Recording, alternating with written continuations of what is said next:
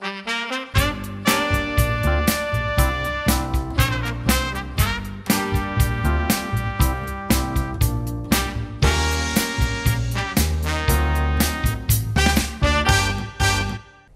Hola, hola, ¿qué tal? Muy buenas tardes. Qué gusto que nos acompañe. Le agradezco el favor de su atención y como todos los miércoles estamos llevando este programa de todas ellas, de muy buen humor, pero sobre todo de muy buen contenido, porque recuerde que siempre estamos preocupados por intentar ofrecerle algo distinto para que usted lo pueda disfrutar. Yo sé que está haciendo el alimento, la comida, o a lo mejor ya están comiendo. Entonces, es momento de que se quede con nosotros, de que pueda disfrutar este programa, porque el día de hoy tenemos muchas sorpresas, entre muchas. Obviamente usted sabe que es conocer historias de vida que nos nos inspiren, que nos hagan eh, saber que nosotras como mujeres tenemos capacidad todavía de poder generar algo productivo de nuestra vida. Así que la invitación es para que se quede con nosotros y quiero darle la bienvenida porque me acompañan mujeres muy hermosas y dentro de ella Elsa, bienvenida. Gracias Yadira, buenas tardes, buenas tardes a todos los que nos ven contentísima y emocionadísima de los ejemplos de mujeres que tenemos hoy en el programa, de mujeres jóvenes, de mujeres luchonas, de mujeres que están todos los días buscando nuevas formas de crecer y nos las encontramos en muchos lados, en la televisión, en el radio, qué es la mujer periodista y cómo las mujeres jóvenes en Aguascalientes están haciendo periodismo de primer nivel. Así es, y bueno, y también quiero darle la bienvenida a Lu, porque también se integra y nos acompaña. Claro que sí, mucho gusto a todos ustedes una vez más de estarlos acompañando y bien, ya lo dijo Yadira y también Elsa, vamos a disfrutar mucho esta charla porque vamos a entrar en a lo mejor en un ámbito que ustedes no las ven normalmente, que es platicar a gusto entre amigas, por qué no decirlo de alguna manera, y van a conocer un poquito más los desafíos que ellas han tenido que pues afrontar para llegar al lugar en el que están ahora ejerciendo su carrera. Así que, pues, ¿qué les parece si vamos a comenzar? Claro que sí, vamos comenzando y bueno, antes me gustaría poder invitarlas para que vayamos todas a disfrutar y a conocer la cifra. veamos qué datos nos separa el día de hoy. Veamos.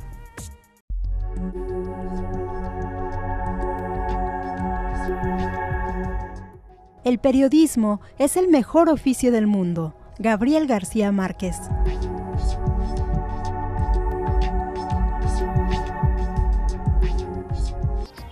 Ahora sí de lleno vamos a presentar a quienes el día de hoy nos acompañan y verdaderamente yo me siento contenta y me siento honrada que mujeres tan jóvenes y tan exitosas puedan estar aquí con nosotros para poder compartir su historia de vida. Creo que este va a ser un programa muy provechoso, así que les doy la bienvenida a Ale Peña, Alejandra Peña, bienvenida. Muchísimas gracias Yadira, muchísimas gracias a todas las personas que nos ven y gracias por todas las flores. Digo, esperemos que ahorita en esta charla de café podamos, eh, bueno, llevarle por sobre todo a todas las personas que nos ven un pedacito de lo que vivimos, al menos de lo que hacemos aquí en Aguascalientes. Así es, Ale, de Ultravisión, por supuesto, y también darle la bienvenida a este... Lucero. Lucero, perdóname Lucero, pero es que me quedé pensando, yo te escucho todos los días y por supuesto que es un Yadira, ¿cómo estás? Bienvenida. Gracias, buenas tardes. Un placer, como siempre, en esta faceta, ahora en la televisión, aquí. Muchísimas gracias por la invitación y gracias a todo el auditorio que nos está sintonizando esta tarde. Y efectivamente, como lo decía Ale Peña, compartirles un poquito de lo que hacemos a diario y de lo que pues tanto disfrutamos y tanto nos apasiona como es el periodismo y sobre todo pues informar a la gente. Así es. Bueno, bienvenidas. Vamos adentrándonos en esto y a platicar, porque sabemos que el periodismo no es nada fácil, no es nada sencillo. Así es, es una carrera difícil, ¿no? En general. Bueno, déjenme, les comento que antes de llegar aquí al programa, le venía comentando al cero, oye, ¿y ahora qué vamos a hacer del otro lado? Yo estoy acostumbrada a ser quien hace las preguntas y ahora me sentí un poquito desconcertada el tener que ser yo quien recibía las preguntas.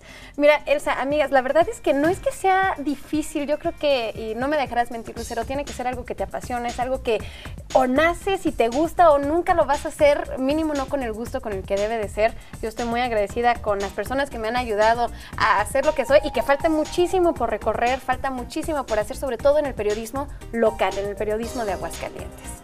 Y yo creo que también coincido en esa parte, Elsa, amigas que nos sintonizan, no es solamente el decir que es un tema difícil el afrontarnos a lo que hacemos el día a día, sino que principalmente debe de existir eso, ¿no? El que te guste, el que te apasione lo que haces. Y yo creo que con eso que es lo principal, te da como todas las herramientas o al menos la principal para poder desenvolver tu trabajo el día a día. A lo mejor lo más complicado suena cuando no estás un poquito inmerso en esto, dices las noticias, qué complicado, qué difícil a lo mejor algunos lo podrían pensar como que aburrido. pero buscar la información. Ese es el detalle. Hablando precisamente de el principio, ¿ustedes cómo es que se integran a esta rama de los ¿Cómo medios de descubren comunicación. que les apasiona el Ajá. periodismo? Híjole. A ver, Ale. Les, les voy a contar una historia. Este, la verdad es muy, la voy a cortar para hacerlo lo más breve posible. Mi mamá siempre me dijo que esto me tenía que dedicar y yo nunca le quise hacer caso. ¿Tu mamá era periodista? No, mi mamá es maestra, mi mamá es maestra y ella, yo siempre estuve en los concursos de oratoria, de poesía y demás. Yo quería ser abogada. Mi mamá, no, es que quiero ser política. No, tú, tú vas a hacer, dedicarte a los medios de Mejor comunicación. trabaja. que- ¿Qué? Y eso fue como en la secundaria. Eso era la secund- toda la vida. Mi mamá siempre me dijo, es que tú vas a ser algún día líder de opinión. Me falta mucho por serlo, pero eso es ahora lo que yo estoy segura que es lo que quiero ser. Total que cuando entré a la universidad, aquí en Aguascalientes no hay carrera de periodismo, estaba la carrera de comunicación. Yo seguía con mi espinita de que quería estudiar Derecho, pero eh, conocí la carrera de Ciencias Políticas y descubrí que eh, una de las personas a quien más admiro, quien es Denise Dresser, es politóloga y dije, le Se voy a puede. intentar. Lo peor que puede sí, pasar es sí que no me puede, gusta la claro. carrera y me salga total. Me enamoré de mi carrera, soy politóloga de Eso no profesión. sabía yo, me estoy enterando. Yo creo que eres comunicóloga. Así es.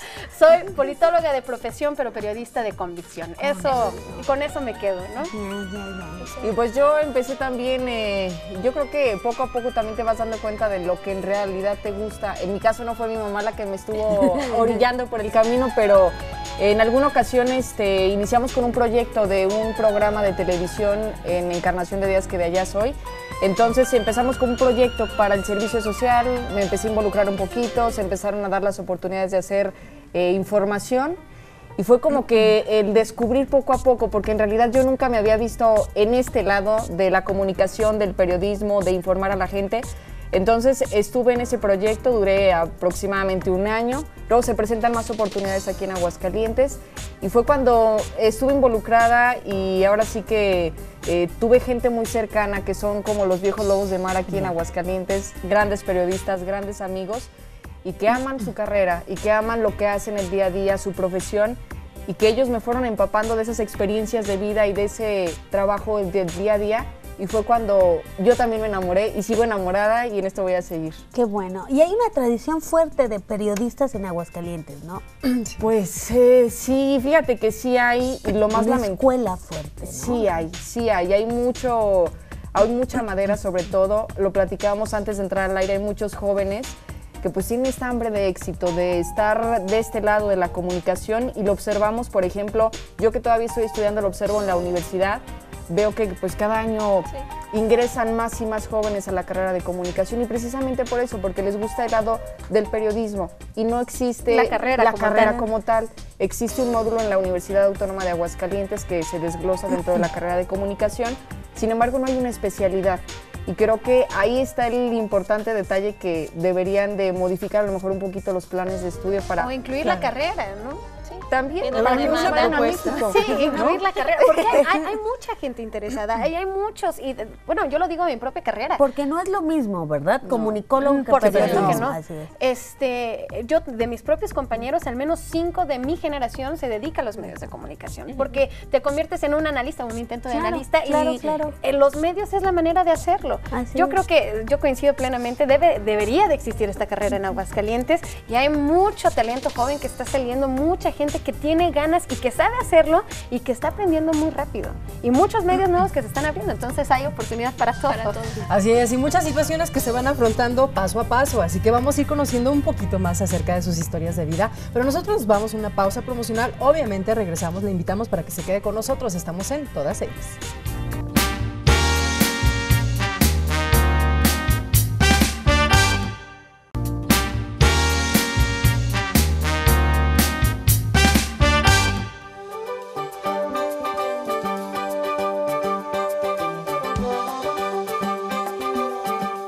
IAM realiza acciones a favor de la igualdad.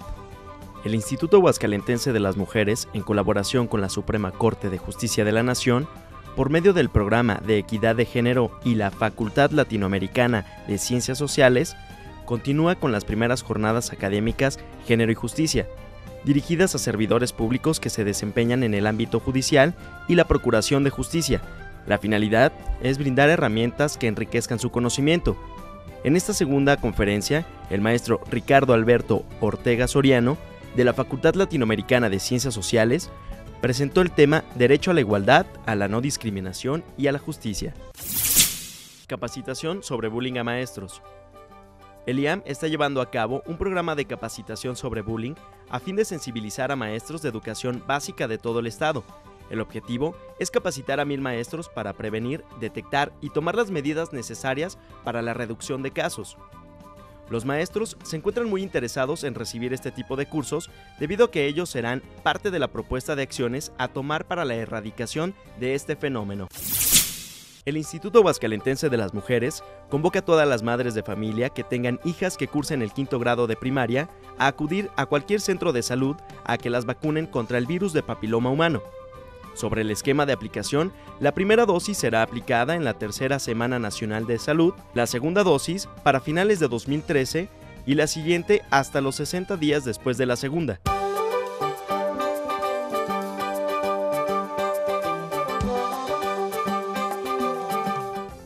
Y bueno, después de conocer los eventos y las noticias que se están realizando del Instituto Aguascalentense de las Mujeres, pues bueno, continuamos con esta amena plática. A mí me gustaría lanzarles la pregunta, ¿qué es lo más difícil que han tenido como experiencia dentro del periodismo o dentro de su actividad o quehacer profesional? Pues mira, yo recuerdo, yo creo que la primera vez que empecé en esto y me dijeron, ya vete a reportear. Oye, pero ¿cómo? Nomás se agarrar el micrófono y prender la grabadora. ¿Cómo le hago? Pero yo creo que eso fue lo más difícil, ¿no? El a lo mejor el ganarte esa seguridad de ir a plantarte frente a algún funcionario público y decir, bueno, vengo preparada, sé la información que te voy a preguntar, sé quién eres, quiero que me respondas esto para mí eso ha sido como lo más difícil y ya luego se te convierte del día a día. Y de repente no te agarraba el nervio, así como que tengo que ir a entrevistarlo y me dan nervios o me impone es el gobernador o es el diputado o es el tal cosa, ¿no? Híjole, yo la verdad es que tuve una, la, oportunidad, porque fue una experiencia, una oportunidad de vida de cubrir, eh, la, de trabajar en el proceso electoral federal en la fuente de Josefina Vázquez Mota, quien estaba como candidata en ese entonces. Yo creo que esa fue mi experiencia más complicada. El primer día, de entrada, moverme en el Distrito Federal. ¿La acompañaste toda la campaña? La acompañé toda la campaña en todos los estados de la República como fuente nacional. Ya estábamos parte de la fuente para mí mi mayor miedo cuando llegué ahí no era tanto siquiera cubrir el evento, era ¿cómo voy a trabajar con las grandes ligas? Estábamos hablando de eh, periodistas de talla internacional. Los que ves en la los que ves en la televisión, que, era lo que le decía, o sea, recuerdo, ahorita me sale la, de, este, me viene a la cabeza Álvaro Delgado de Proceso, y bueno, yo al principio decía, yo leía a Álvaro Delgado y al final era quien me daba consejos. Yo creo que esa fue la parte más complicada por el miedo, y, no un miedo de no creer, de no creer en que lo podría hacer, sino el es algo totalmente nuevo. Son grandes ligas. Sabía aprender mi grabadora, pero decía, ellos traen otras cosas más. ellos ya traen del pueblo.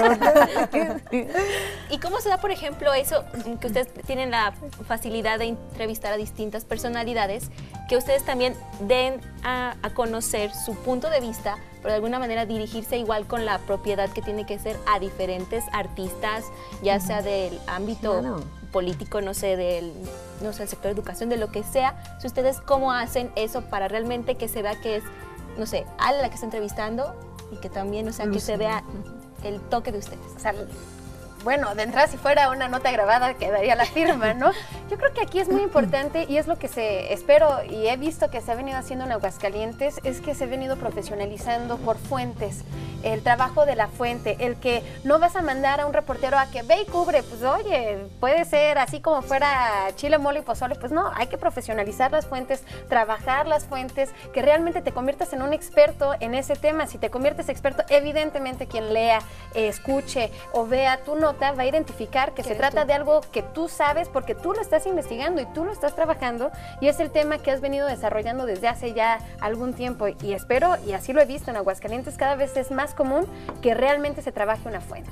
Ahora, esto es bien importante porque generalmente a las mujeres se les mandaba cubrir los espectáculos, las recetas de cocina. Mujeres jóvenes no ibas a verlas jamás analizando el tema político o la noticia seria. Vamos a que cubran las bodas y los 15 años. Eventos sociales. Como lo más ligero de Así es, ¿cómo se logra que dos mujeres tan jóvenes lleguen con tal nivel de seriedad a los temas verdaderamente importantes o serios de un noticiero? Elsa, yo creo que ahorita que te estaba escuchando se me viene una sola palabra a la mente y yo creo que eso define y responde tu pregunta y es trabajo el que te involucres, el que quieras lo que haces, el que investigues, como decía Ale, cuando te dan una fuente y te metes a investigar, a buscar, a ser un profesionista como tal y un profesional en, el tema que estás desenvolviendo, yo creo que eso la gente que está arriba de ti se da cuenta y te está abriendo poco a poco las puertas y tú mismo te vas abriendo esos espacios dentro del medio. Claro, el poder levantar el micrófono y decir, yo puedo preguntar, a mí si me hacen caso y tener la seguridad Claro, al momento de no hacerlo. es fácil. Y porque, ¿sabes que Elsa? Eh, no compites nada más con, contra los demás compañeros reporteros y con quienes tienes que ganarte tu, tu lugar. Tienes que ganarte tu lugar con quien estás entrevistando, pero más importante, tienes que ganarte lugar para ti mismo. Si tú te crees y crees que puedes hacerlo y traes la pregunta adecuada y la forma correcta de sacar y lanzar la pregunta, tú solo te abres el espacio. En el Instituto de la- eh, Aguascalentense de las Mujeres, bueno, hay como un firme compromiso de, de decir eh, sí a la igualdad, sí a la equidad de género, todo este tipo de cuestiones eh, filosofales que necesitamos arraigarlas bien para poder tener un tipo de conciencia que provoque cambios en la sociedad. Entonces, este tipo de, de situaciones a ustedes les tocó una época de involucrarse en los medios de comunicación, en el periodismo, difícil, donde todavía existía como que ese, ese roce entre hombre y mujer. O sea, sus compañeros hombres sí las veían así como que... "Ah, Está muy Fíjate que más, que no más por el, más que corta. por el sexo era por, Por la la edad. edad. ¿Y esta Sí. niña qué? Sí, es que ahorita ¿A que qué va a estaba hablando Alejandra, sobre todo con las escuelas tan tradicionales del periodismo Sí, es que ya en Aguascalientes, imagínate un señor de 60 años que llegue una chamaquita de, De 20, 20. 22 años con su grabadora a quererle cuestionar algo, ¿no? Claro. Sí, como que está el celo de, pues si yo tengo tanto tiempo, ah, ella pues todavía no ha de saber, va a necesitar que yo la Y la encamine. seriedad que tú le puedes dar al dar al ser entrevistado, ¿no? Sí, porque yo creo que, por ejemplo, ahorita que decía Yadira, el si te enfrentas o no te enfrentas con este tipo de discriminación, yo creo que son de las dos. Tanto todavía existe, todavía ese celo profesional de por qué ella es mujer y por qué ella sí trasciende y por qué ella sí le dan un programa y por qué ella tiene una fuente del Congreso y yo tengo 30 años eh, en esta empresa y sigo haciendo exactamente lo mismo que hace 20 años. También existe esa parte de... eh, la- Celo.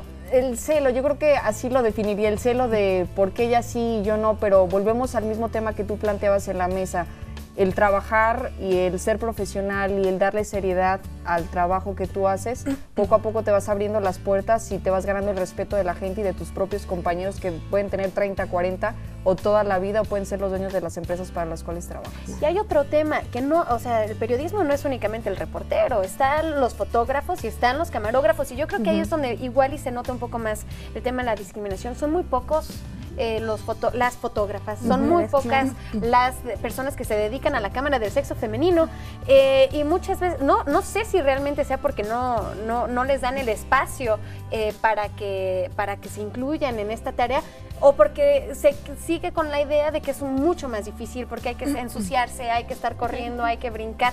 Entonces, eso es un tema que yo creo que lo ponemos sobre la mesa. ¿Cuántas fotógrafas hay en Aguascalientes y cuántas camarógrafas hay en Aguascalientes? Que no sean multitask. Oye, no tengan que hacer todo Sí, no, pero ya tranquilas porque aquí mis compañeros camarógrafos ya se están molestando. Es No, pero está también el, el otro lado que, que debemos de ver, a ver, porque también se pudo haber vuelto una moda poner frente a una cámara o un micrófono Sí. a una niña bonita, guapa, atractiva, únicamente por una cuestión De imagen, ¿verdad? ¿Cómo trasciendes esta parte? Porque además de que nuestras invitadas son muy bonitas, muy guapas Gracias. y muy atractivas, creo que eso te limitaría a leer notas, Notas. frente a un noticiero, Entonces es ¿no? donde viene la parte de uno, el si quieres ser una presentadora No, de de noticias, o si quieres realmente ser una líder de opinión. Claro, y, ahí, y aquí tenemos líderes de opinión, sin ninguna duda. Es que yo creo que es básicamente lo que comentaba ahorita Lucero, es como que la pasión que le ponen lo que las hace llegar en el lugar en el que están ahorita. O sea, que realmente es esa hambre de éxito que tienen, porque no cualquiera, por ejemplo, como comentaban, a lo mejor hay algunos que ya tienen mucho tiempo, entonces han perdido a lo mejor esa emoción, esas ganas, y llega gente nueva que obviamente al tener esas ganas de hacerlo, lo hace y lo hace muy bien. Y yo creo que también eso lo limita mucho el medio de comunicación a lo mejor para el cual trabajas, porque dice Ale, ok, tú decides si eres un presentador de noticias y te limitas y te encasillas y la gente te ubica como un presentador de noticias meramente, o si eres un líder de opinión, una persona crítica, una persona que a fin de cuentas la gente la sigue por sus opiniones y por el valor que tiene lo que está dando a conocer a los ciudadanos. Y ahí yo creo que sí tiene mucho que ver lo que hacemos nosotros, porque a fin de cuentas te ponen en el medio, a lo mejor te dan un noticiero para que tú eh, informes a la gente, pero hay esa oportunidad de que tú le imprimas como tu esencia, sello, ¿no? así es. Y es ahí lo complicado, porque luego vienen las distintas opiniones. Obviamente hay muchísimas personas inmersas en este medio. Entonces de repente tú llegas con tu ideología, con tu convicción y chocas, ¿no? Empiezas así como a chocar, ¿no? Claro que aquí hay un tema importante. Uno no puede sobrepasar, o sea, no hay que re- no hay que olvidar una cosa y luego se convierte se convierte en materia de debate. Uno es empleado de algún medio de sí, comunicación claro. y hay que respetar línea la línea claro. editorial. Así es. Si no se está sobrepasando esa línea editorial, bueno, yo creo que uno puede eh, pre- expresarlo si es que se le da la oportunidad, porque también es cuestión de trabajo, no solamente se va a opinar porque, ay, quiero estar opinando respecto a algún tema. Ahora, si uno es el dueño y tiene la oportunidad de ser dueño de su propio medio de comunicación, tienes una puerta abierta para opinar, ahora sí, lo que tú quieras y lo que tú creas. Siempre y cuando tengas el documento o la información que respalde tu Claro. comentario eh, o tu opinión al respecto. Tiene que ser eh, sustentado en algo. Vamos a ir a una segunda pausa promocional, pero le invitamos nuevamente para que se quede con todas ellas. Quédese con nosotros.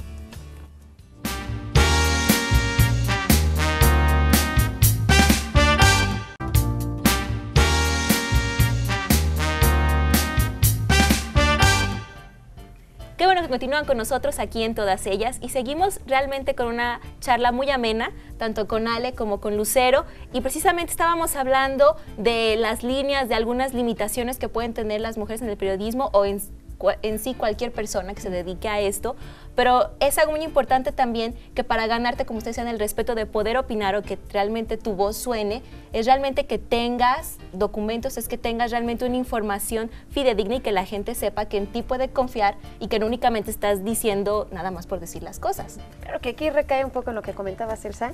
El- no es nada más una cara bonita. Si uno tiene los datos y presenta la información con datos y hace un comentario con los datos, seguramente es porque te estás preparando y sabes de lo que estás hablando. ¿no? Es que me encanta, me encanta que dicen, no nada más una cara bonita, pero están preciosas. la gente las ve.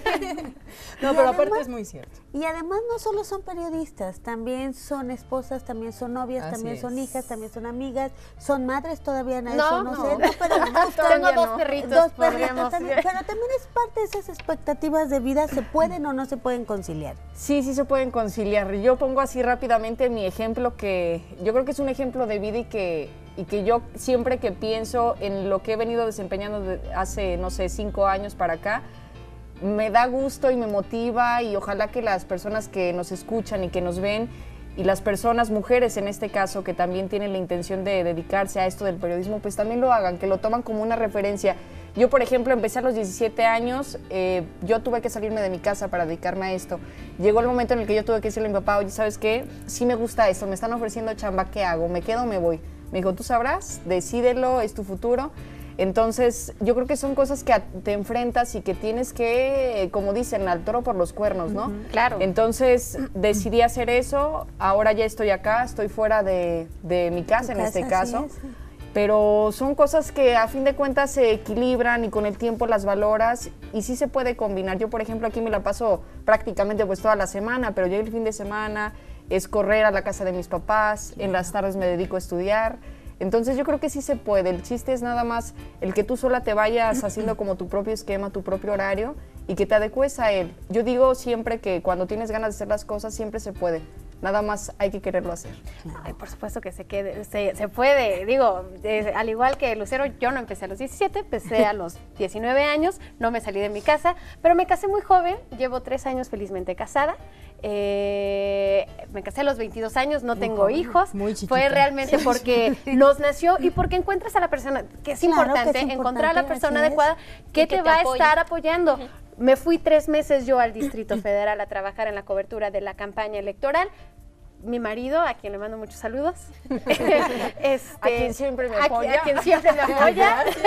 que se tiene que acordar que siempre me apoya. Este, no tuvo ningún problema. Al contrario, me dijo, vete. Adelante. Esto es lo que te quieres, a lo que te quieres dedicar, hazlo. Esto, con esto vas a crecer y con esto vas a, vas a empezar a hacer eh, lo que tú siempre has querido hacer, que es convertirte en líder de opinión. Me voy los tres meses, regreso y me ofrecen trabajar directamente con Javier Solórzano, que es un extraordinario periodista. Sí, sí, Entonces, mi marido no ha tenido este el problema, el que si estoy aquí una semana, me voy otra semana al Distrito Federal, estoy aquí otra semana. Entonces hay que encontrar las maneras y hay que encontrar al, hombre adecuado también. que, que, te desarrolles profesionalmente pero de alguna manera que también cumplas con el rol que tienes de alguna si manera. Si eso es lo que quieres hacer, porque eh, quizás hay personas que dicen, es que yo no me veo casada, pues ¿no? te tienes que casar, pero hay que tener el equilibrio hasta con los amigos y la familia. pero sí es importante destacar también que luego como mujeres, hay muchas mujeres que tienen habilidades, aptitudes, eh, todas las oportunidades viables para ser exitosas y de pronto por este tipo de cuestiones de no encontrar a la persona que es adecuada, que les apoye, se truncan, y se quedan. Entonces, esto también es eh, motivo de, de discusión y vamos, ustedes como periodistas es así como tirarles duro, ¿no? No, y duro a la cabeza. Claro, aquí afortunadamente. Que nos digan cómo se encuentra claro. y se Para ir a donde buscarlo. Lo encontré en la puerta de su casa. Entonces es, es, un poco complicado. Yo creo que, es, o sea, uno nunca debe dejar de acordarse quién es y por qué es. Si realmente lo que te apasiona es ser eh, doctora, pues tienes que ser la mejor doctora. Si lo que a ti te apasiona es ser mamá, también se vale, hay que ser la mejor mamá. Si a ti lo que te apasiona es ser maestra, hay que ser la mejor maestra, ¿no? O sea, el chiste es que uno no pierda la línea de qué es lo que quiere ser, cómo quiere llegar a él y rodearse de la gente que está de acuerdo y que conoce qué es lo que uno quiere ser. Que comparte tu proyecto de vida. Claro, porque si yo le hubiera dicho a mi marido, eh, nunca le hubiera dicho que quería ser periodista y que algún día quería ser la próxima Carmen Aristegui, bueno, él me iba, cuando le dije me voy al DF, me hubiera dicho, ay, ¿y esto de dónde salió? Claro, exactamente. Pero al contrario, si conoce todo, toda la historia, él fue el primero que me dijo, sería un tonto en decirte que te quedaras. Claro, es una oportunidad tremenda, ¿no? Y luego son decisiones fuertes, porque bueno, siempre se ha etiquetado de pronto que la mujer somos muy sentimentalistas y emotivas y todo este tipo de detalles, entonces ya el hecho de, porque incluso de tomar una decisión de decir, ¿sabes qué? Me voy a al Distrito Federal y de repente vienen sentimentalismos de que, ay, lo extraño, hay esto, hay esto, otro. O sea, ¿cómo viven ustedes como mujeres ese tipo de, altibajos emocionales? Pues, yo creo que como todas las mujeres, con, el la mano, por ejemplo, tú fuera de tu casa. Fíjate que yo creo que, híjole, las cosas como que poco a poco se te van dando y yo creo que el nuevo rol de la mujer en la actualidad es lo que te ha hecho que te acoples a una nueva dinámica a un nuevo estilo de vida, al estar a lo mejor lejos de tu familia, al dedicarte a hacer lo que te gusta y que le des tiempo a todo, como lo decía Elsa, el ser una mujer completa, ¿no? El no solamente pensar en trabajo, trabajo, trabajo, trabajo, porque es lo que más nos apasiona, pero al final del día no debemos de dejar todo lo que está atrás de nosotros, ¿no? Que es la familia la que nos ha impulsado a llegar a donde estamos, que son los amigos que siempre están a un lado de nosotros y por supuesto que es la gente que siempre nos sigue, ¿no? A través de las noticias que también son parte muy importante. Claro y que van a estar ahí siempre, ¿no? O sea, tu familia, tu entorno, y que no puedes lograr muchas cosas, pero si al final del día no hay con quién compartirlas dentro de tu espacio interno, bueno, se vuelve, o se puede volver un poquito complicado, ¿no? Es que yo creo que tiene, perdón, mucho que ver el apoyo. O sea, es muy distinto a que a lo mejor, no sé, tu esposo te dijera, no, es que porque te vas a ir, porque me dejas en tu casa. Es que ya regresa, te, extrañamos. O sea, el sentir el apoyo de realmente la gente que te rodea es lo que las ayuda a ustedes a salir adelante de este y muchos más desafíos que les vengan. Y luego hay mucha gente que dice, pero es que a mí mi marido no me salió así. Bueno, es que no son rifas, no, no, los coges, ¿no? sí, ¿dónde, ¿dónde estaban? ¿Y es una carrera peligrosa o no es una carrera peligrosa? Yo creo que depende de las áreas a las que te dediques. Siempre, como lo platicamos también antes de entrar al aire, Elsa, y tú lo decías muy bien, Aguascalientes o en este caso nuestro país México, pues sigue siendo considerado como uno de los países más peligrosos para ejercer esta profesión pero al menos aquí en Aguascalientes gozamos de un gran ambiente este, de tranquilidad, de, tranquilidad, de seguridad, no hay ningún problema. Pero también yo creo que tiene mucho que ver las fuentes a las cuales cubres. Por ejemplo, ahorita me viene a la cabeza una mujer emblemática aquí en Aguascalientes que se dedica, es la única mujer que se dedica a cubrir la fuente policíaca. Yo no me veo en ese lado.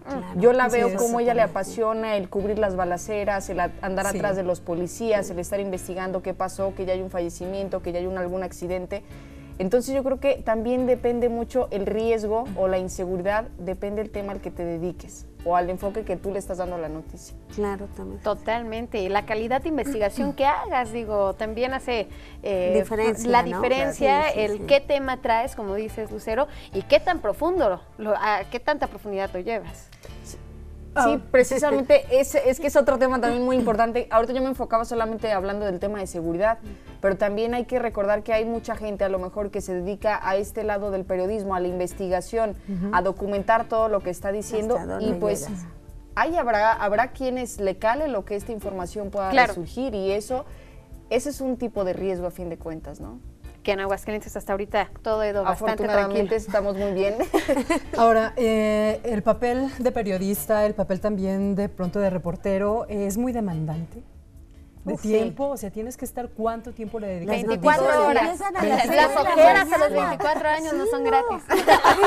Porque si a las 6 de la mañana tienes que estar dando las noticias, ya tuviste que haberte documentado de, de todo lo que Claro, sucedió que la explosión año, de la Casa Terán, bueno, los compañeros tuvieron que estar ahí al Así momento es. en el que sucedió, 15 minutos en lo que te pusiste el pants o la- el pantalón, Sí. saliste de tu casa y llegaste al lugar, ya tienes que sacar la noticia. estar haberte documentado de todo lo que iban a ver nacional, internacional, aunque sea ahora lo podamos hacer desde una Todo computadora, internet, ¿no? Claro. Pero yo creo que es eh, algo que se convierte como en tu vida diaria y en un esquema que trabajas el día a día y te acostumbras, porque por ejemplo llega el momento en el que a lo mejor pedimos vacaciones porque ya nos toca irnos a descansar y nos damos cuenta que es domingo o es sábado o estás en plena vacaciones y te sientes con esa necesidad de ver ¿Qué qué está pasa. pasando? ver la televisión, ver las noticias, escuchar Y no el sé radio. tú, Claro. te subes al, al auto y lo primero que haces es prender Noticias. noticias. Inmediatamente. ¿Qué les ha hecho llorar dentro de esta carrera? Híjole. ¿Qué me ¿Cuántas ha veces? hecho- ¿Qué me ha hecho llorar en esta carrera? Ay, creo que, creo que no, no he llorado en esta carrera. Hasta ahorita nadie, nadie me ha hecho, na- nadie me ha pegado. No. Este, yo creo que el, el momento más triste de mi carrera sí fue, por supuesto, el haber dejado a mi marido durante tres meses, Claro. pero estaba muy satisfecha, estuve completa cuando estaba haciendo lo que más me gusta. Entonces, no, yo creo que realmente nada me ha hecho llorar. Me ha frustrado el que no salga publicada una nota que tengo bien documentada, que tengo todos los datos o que me nieguen entrevistas que yo sé por dónde va, por dónde va la información. Pero es frustración. Ajá. Llorar, Pues, yo creo que no, no, no, no, No, me ha No, yo creo que también, por ese lado tampoco. Ahorita estaba haciendo así como memoria, digo, algo que me haya hecho llorar, no. A lo mejor y pudiera haber algún, llorar como tal, no, pero a lo mejor sí te salen esas lágrimas, pero de alegría, ¿no? El decir, ay, esto me fue bien, reconocieron mi trabajo, a la gente le gusta lo que estoy haciendo, estoy dando información y a la gente está atenta a lo que tú estás diciendo y te sigue. Yo creo que eso te motiva y a lo mejor sí te puede sacar unas, unas, de, unas gotas de alegría, pero no tanto como que dicen que el 4% de las veces que una mujer llora es de alegría, el 5% por tristeza y el resto quién sabe. ¿Quién sabe por qué, que es buena. Bueno, chicas, nos vamos a ir a una pausa promocional. Regresamos obviamente con más. Quédese con nosotros porque la estamos pasando muy agradable. No me diga que no, la esperamos.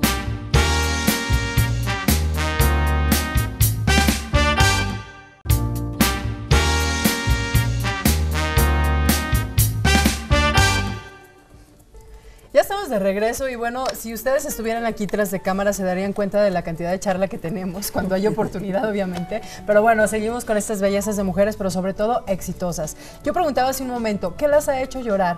Porque de repente uno como oyente o como, eh, como radio escucha, de pronto se escucha las noticias y dices, wow, y te consterna. O sea, te consterna el hecho de escuchar una nota que, que provoque tristeza, que te des cuenta hasta dónde está llegando la sociedad, qué es lo que está pasando, dónde está la conciencia como ser humano. Entonces, ¿ustedes cómo lo viven? Es difícil, yo creo que es difícil esas noticias que son, pues a veces también complicado el que tú las asimiles y luego que las puedas compartir a la audiencia, pero que tengas como siempre ese temple para Claro. entender que la noticia es de aquí Ponerle para acá línea. y de aquí para acá soy yo y yo solamente soy el comunicador, soy la persona que está dando las noticias y que pones esa barrera, ¿no? Y habrá momentos en que sí externas la indignación. No Sí. se me olvida el caso del Casino Royal. Ya, claro. Cuando, de hecho, si no me equivoco, ese día estuviste con nosotros en el estudio, Elsa. Este, aquella vez que dimos a conocer esa, esa noticia, yo realmente no podía con la desesperación. Digo, no, no, no nos soltamos llorando a- al aire, pero al finalizar la nota y sí dijimos los comentarios, es que cómo es posible que esto pueda pasar en el país, te enoja, te frustra, te, Pero finalmente uno debe de conocer el juego, saber el juego, pero no formar parte del juego porque se lo llevan a uno. Es como un médico. Un médico no se va a poder poner a llorar porque llegó un niño este, muy claro. enfermo, ¿no? Claro, claro, tiene que hacer su trabajo y como debe ser. Ustedes, por ejemplo, mm, hay supongo que camaradería con algunas de sus fuentes, por así decirlo. ¿En qué momento ustedes saben cómo, pues decirle, ahorita es mi trabajo y si nos vamos a ir de fiesta otro día, pues es otro día, O pero deja- ahorita o es deja de eso? la fiesta. Seguramente habrá notas o comentarios que nos podemos llevar muy bien, pero si yo estoy haciendo mal mi trabajo y tú haces un comentario negativo en ese sentido, ahí siempre va a haber muchos sentidos o sentidas enojados y enojadas, Claro. ¿no? Mm, Yo lo que le comentaba a mis compañeras de Ultra era los, las buenas relaciones no están peleadas con los buenos cuestionamientos. Pero si uno tiene la, la pregunta bien estructurada, los documentos y todo para sacarlo a la luz, bueno, no se pueden enojar. Mejor que se evite la pena y me diga, ¿sabes qué, Ale? Fíjate que va por ahí, sí, nos equivocamos. Pero una buena pregunta no puede estar peleada con las buenas relaciones. Pero yo creo que puede llegar a surgir lo que planteaba ahorita Luis. Yo digo que es algo que tú también vas marcando poco a poco, ¿no? La gente entiende y los funcionarios y las personas a las que entrevistas se dan cuenta en dónde se rompe ese espacio de somos amigos, nos llevamos muy bien, nos podemos ir de parranda el fin de semana si tú lo quieres ver así. O estamos en el papel de yo soy funcionario, tú eres una periodista, me vienes a entrevistar y punto y se acabó. Yo creo que es algo que también poco a poco tú lo vas marcando y que por supuesto las personas a las que tú entrevistas se van dando cuenta dónde terminan esos No, espacios. y, y- y se nota en el momento en el que están, ¿no? Estás en plena sesión del Congreso, bueno, perdón, o sea, ¿no? un reportero. No, pero además yo creo que también ha ido cambiando mucho. Yo antes el poder podía, en cuanto al tema de comunicación, lo podía tener el funcionario o el político. Pero ahora los medios lo tienen con mayor fortaleza, aunque los funcionarios. ¿Son o no son ustedes cuarto poder? Pues, eh, Y eso- se vale jugar con ese cuarto poder, si existe, ¿no? Pero no jugar, yo creo que eso sería una Bueno, responsabilidad. manejar el poder, perdón, Pues manejar yo el creo poder que es importante que eh, a través de los medios de comunicación se genere la- la- el posicionamiento de la agenda, porque es muy fácil para un funcionario público decidir cuál es la agenda que se debe tocar cuando uno como medio de comunicación, uno que es reportero, que anda en la calle, que tiene el programa y recibe las llamadas, realmente sabe qué es lo que la, gente, la gente quiere saber. Entonces, no es que juguemos a ser un cuarto poder, pero sí es fundamental. Malo cuando empiezan a utilizar eh, aquellos directores, ¿Cómo directivos, eh, el, el medio para lograr y adquirir ciertas cosas. Claro. Digo, uno lo tiene que hacer a favor de la gente. Somos otra voz, vamos. Ahora sí. Como los representantes del pueblo, literalmente como diputados, así estamos, pero dentro de los medios de comunicación. Coincido totalmente. Y sin ganar lo que ganan los diputados. Eso es otro asunto. Eh, que ese, ese es otro tema. Pero si de repente se puede confundir, ¿no? Ahora, ¿a la gente verdaderamente les importan las noticias o al final estamos interesados un pedacito pequeño de la población? Fíjate que yo pienso que hay de todo un poco, pero al final del día la gente se convierte también en tu familia. Y yo me doy cuenta, por ejemplo, en el momento en el que yo tenía un programa y los escuchaba y era casi casi que la gente que siempre te hablaba y que siempre estaba ahí al pendiente y te hablaba simple y sencillamente para saludarte o decirte cómo estás, yo creo que más allá de la información se convierte en tu familia. Es como la sala de tu casa Claro, que te hablan. estás todo el día con ellos, ¿sí? Sí, y literalmente. Había ocasiones, por ejemplo, retomo el ejemplo de irnos a, de vacaciones y la gente habla, oye, ¿y dónde está? Oye, ¿y está enferma? Oye, ¿y cómo ¿Cómo está? Así pasa, de verdad que Las señoras pasa. que les mandan bendiciones y todo eso, a mí me llama mucho la atención cuando las escuchas en el radio que de repente y la- les mandan las bendiciones de los que, pero hay una relación real, ¿no? No, y, y esto que comentas, este, yo creo que es un tema, híjole, muy importante, que si la gente está o no está informada. Yo creo que hoy en día está más informada que antes, antes. por la apertura de las redes sociales, pero que son jóvenes, la mayoría de los que utilizan las redes sociales. Yo creo que la gente más informada de nuestro país son los taxistas. Buen punto, sí. Sí, Todo es. el buen día punto. están escuchando Las noticias. Una cosa que yo hacía cuando estuve en, en la gira de la candidata, de la ex candidata panista, era cada estado al que llegaba hacía operación taxi. Un taxi. Me subía al taxi y preguntaba, ¿cómo está? Aquí está, sí. Ah, muy bien. Yo creo que sí hay gente interesada Y cada vez son más las oportunidades que tienen de, de, informarse, son más los periódicos, más las páginas de internet, más los canales independientes. Desgraciadamente no en, en televisión abierta, pero ahí va, ¿no? Se está haciendo un esfuerzo. Yo hoy tengo también una opinión un poquito encontrada a lo que tú dices, Ale. Yo sí eh, coincido en el tema de que sí hay más apertura a los medios de comunicación, hay más posibilidad de que la gente se informe y sepa qué es lo que está ocurriendo no solamente en su estado, sino en todo el mundo, pero también me doy cuenta, por ejemplo, cómo de un tiempo para acá el, el escuchar información policiaca, la información Negativa. sangrienta, negativa, también hacía pagar muchos radios y muchas televisiones y cambiarles de canal. Y eso tú lo ves en la gente y la gente te lo dice, ¿sabes qué? Yo ya no escucho porque no me gusta escuchar eso, no me gusta que mi día empiece con malas noticias. psicosis. Claro. Fíjate que, bueno, de hecho también nuestra productora participa y nos comenta que ha sido un éxito también muy determinante el hacer noticias o impactar de esa manera, porque de pronto ya no estamos acostumbrados solamente a escuchar, sino ya hay más opiniones, o ya, ya hay más como esa interacción entre ser humano y profesionista, ¿no? Entonces yo emito mi opinión, argumento, analizo y de esta manera cultivo o trato de informar a una gente que, es- que en determinado momento lo que yo opine, lo que yo esté diciendo, va a generar cierto compromiso, cierta sensibilidad para modificar Claro, actitudes. Claro, claro. Y que también, por ejemplo, ahorita que mencionas eso, eh, te das cuenta el que también hay mucha gente que a lo mejor no ejerce como tal el periodismo, pero que es gente muy culta, que es gente informada y que siempre está al pendiente de todos los programas de carácter informativo y que te habla y te da sus comentarios editoriales y literalmente va ganándose el respeto de la gente y va siendo como una guía de me interesa saber qué es lo que va a decir ese señor porque hace que a tal hora siempre habla. Y lo Claro, de verdad. Eso Así es es. cierto. Bueno, eh, a mí me llama mucho la atención y creo que debemos tocar esto porque eh, hablamos ya en distintos programas de cómo de pronto muchas personas se quedan en el intento, se quedan con las ganas de hacer algo y no llegan. Me encanta que ustedes mencionan dentro de sus virtudes o dentro de lo necesario para poder ser exitosas y destacar, mencionan mucho lo que es la cuestión de valores. Eh, la entrega, el trabajo, el temple, la convicción, la pasión, o sea, todo este tipo de cuestiones que hacen que se encaminen a un plan de vida, ¿no? Un proyecto de vida. Y una cosa muy importante, uno nunca llega, ¿eh? Porque cuando crees que llegas, quieres más. Y cuando llegaste ese más, quieres el doble. Entonces uno nunca llega. Y eso, yo creo que esa es la respuesta. Saber que nunca vas a llegar y que necesitas más y siempre tener los pies en la tierra. Porque es muy, muy fácil. Ya eh, luego te dicen, no, es que conoces a todos los políticos y te saludan. y luego va a ser muy fácil que puedas perder los pies. Que puedas perder el terreno y te diga, y luego van a empezar, es que te subiste a un ladrillo, ladrillo. y ya estás mareado y demás. Yo creo que lo más importante es, uno de entrada, no importa lo que la gente va a decir de ti, siempre y cuando tú sepas que lo que estás haciendo lo estás haciendo bien y lo haces porque tú quieres y porque es lo que más te apasiona y crecer y crecer y crecer y el que sigue y el que sigue y así es esto, nunca vas a llegar. y saber principalmente qué es lo que quieres, ¿no? Porque cuando no sabes bien lo que quieres es esos casos de frustración Así o es. de preparación trunca. Y sabiendo lo que quieres, yo creo que lo fundamental siempre va a ser la ambición. a- Ambición de crecimiento, ambición de ser una persona exitosa. Y la pauta tú mismo la vas marcando conforme principalmente a eso, a la ambición y al querer y la visión que tú tienes de las cosas.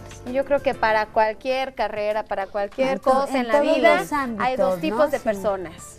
Sí, Las maletas y los viajeros. Las maletas se las llevan los viajeros y los viajeros deciden a dónde ir. A ver, Mira, eso la vamos a tener como frase célebre del Así próximo es, programa. Sí, sí, sí, eso hay que apuntarlo. Sí, ya terminamos, ya terminamos, se nos acabó el tiempo. Ustedes saben que... Tan a gusto que tan- estamos. Pensé que apenas estamos empezando. Pero no, lo que ustedes no saben es que es Ale Peña, Lucero Álvarez, parte 2. Ah, tenemos que Aquí volver nos a veremos la próxima semana, entonces. Así es, nos despedimos. Agradecerles enormemente de verdad, Alejandra Lucero, al revés cambié los nombres, porque son un verdadero ejemplo de lo que la mujer joven en Aguascalientes puede lograr, está haciendo, son mujeres que han alcanzado sus metas o que están alcanzando metas, y ese es parte de los ejemplos que en el Instituto Aguascaliense de las Mujeres queremos proyectar. Muchas gracias y Al muchas felicidades. Y muchas Gracias. gracias. porque además siempre son quienes todas las noticias del instituto son Ahí las estamos. primeras Las están monitoreando ahí. Excelente. Muchísimas gracias. No, gracias. Es un placer compartir pues estas experiencias de vida y que como lo decía en un principio, el que las personas que nos ven y esas mujeres que a lo mejor tienen ese temor, pero que tienen las ganas y la convicción de hacer esto, pues que se atrevan. Así Aquí es. están los claros ejemplos de que sí se puede siempre que lo quieras hacer. Claro. Así es. Sí, sin duda alguna un buen ejemplo, ustedes exitosas en su profesión y que como dicen, el chiste es tener hambre de éxito y seguir forjándose un poquito más en su carrera y gracias yo sé que a muchísima gente, tanto estudiantes y demás, las están, sin duda alguna, inspirando para llegar a su meta. Gracias. No, al contrario, muchísimas gracias y gracias al auditorio que nos acompañó en este programa por habernos escuchado, haberse reído con nosotras un poco, porque la vida hay que reírse. Hay que disfrutarla. definitivamente. Pues de esta manera estamos cerrando todas ellas. A todos quienes hacen posible eh, la realización de este les agradecemos de una manera muy especial. Gracias en especial a ustedes por acompañarnos y la cita es la próxima semana a esta misma hora por este mismo canal. Nos vamos.